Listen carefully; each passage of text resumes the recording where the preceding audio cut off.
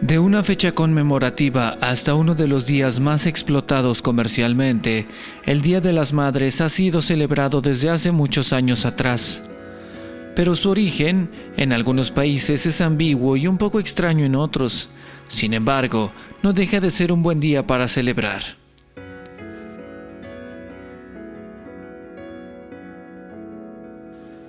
Anteriormente, hace muchos años atrás, quizá más de lo que nuestra memoria colectiva pudiera recordar, en la antigua Grecia, el Día de las Madres se celebraba de una manera muy distinta a la actual, donde se le rendían honores a Rea, la madre de los dioses Zeus, Poseidón y Hades, una celebración que, a través de distintos rituales, se llevaba a cabo. Así, poco tiempo después, los romanos llamaron a la misma celebración Hilaria, cuando le adquirieron de los griegos y se llevaba a cabo cada 15 de marzo en el templo de Cibeles, realizando ofrendas durante tres días.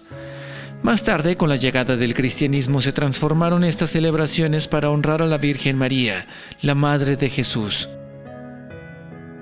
En otros lugares como Inglaterra, ya hacia el siglo XVII, se comenzó a celebrar, también relacionado con la Virgen, el denominado Domingo de las Madres. Pero acá en América, las cosas fueron un tanto distintas. Celebrado principalmente en mayo, variando por poco las fechas, el Día de las Madres se ha festejado desde el siglo pasado en América. La costumbre viene de una historia bastante particular y un tanto dramática. Fue a los inicios del siglo XX, en Estados Unidos, por insistencia de una mujer que nunca tuvo la oportunidad de ser madre, que este día comenzó a celebrarse. En 1905, Anna Jarvis vio fallecer a su madre. Invadida por la tristeza, decidió comenzar una campaña a favor de lo que llamaría Día de las Madres cuando su propia madre muriera. Pasados tres años de aquella tragedia, decidió organizar un homenaje para ella, lo que comenzaría a expandirse como una tradición, pero que a su vez se iría deformando en una cuestión más bien comercial. Incesante, incansable, Anna Jarvis inició a su vez una campaña para lograr oficializar la fecha del Día de la Madre durante años y intentó una y otra vez, inspirada y motivada por una oración que en vida su madre le mostró. Espero y rezo para que alguien, alguna vez, reconozca un día en memoria de las madres, para celebrarles por el servicio incomparable que prestan a la humanidad en todas las áreas de la vida. Año tras año, insistente e impecable, Ana enviaba cartas al Congreso, a los gobernadores, celebridades, personas influyentes, invitándoles a considerar una fecha especial para las madres, pero solo recibía burlas.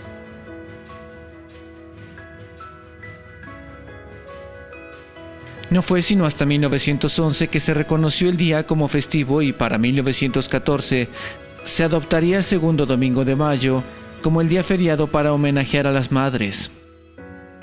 Hasta entonces todo perfecto, su cometido había sido alcanzado, pero con el paso del tiempo, Ana se daría cuenta que había creado un monstruo. La fecha comenzó a ser más que una celebración honesta, de pronto se volvió un festín de dinero para los comerciantes quienes aprovechaban el día para elevar los precios de sus mercancías y convertir aquello en un festival de mercadotecnia, un buen pretexto para estimular la compra de regalos. Pero evidentemente a Ana no le gustó la idea, siendo luego una de las principales detractoras del festejo y de pronto, irónicamente, Ana comenzaría un nuevo movimiento, pero esta vez buscaba eliminar la fecha. Cabe aclarar que la situación en el mundo en aquellos días para las mujeres no era del todo fácil. En Japón en 1922, por ejemplo, se rechazaba la ley del voto femenino. Sin embargo, y en contraste, el 5 de julio en los Países Bajos se realizaron las primeras elecciones en las que las mujeres tuvieron el derecho de votar. En fin, parecía que en aquellos años el feminismo tenía cada vez más volumen y notoriedad. Pero a su vez, en México no era un caso distinto y el Día de las Madres fue, según algunos aseguran, una reacción a un movimiento feminista con origen en Yucatán.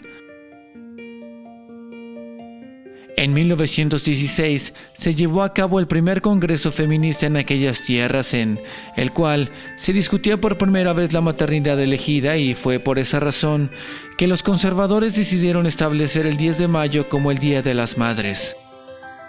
En aquellos días, el periódico Excelsior organizaba festivales para premiar a las madres y hasta un monumento se levantó homenajeándoles, el cual habría sido destruido durante el sismo del 19 de septiembre de 2017, para luego haber sido restaurado por completo y en el cual se puede leer la siguiente frase.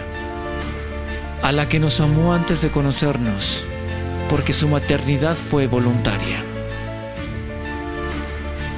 Y así, año con año, se celebran nuestros días a la mujer que nos dio la vida y que, con sacrificio constante desde antes de que llegáramos al mundo, ya nos amaba sin siquiera saber quiénes seríamos, y también a aquellas que decidieron ser madres sin haber procreado, adoptando una vida que con amor ayudaron a florecer.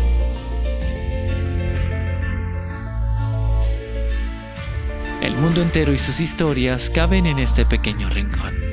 Gracias por visitarme.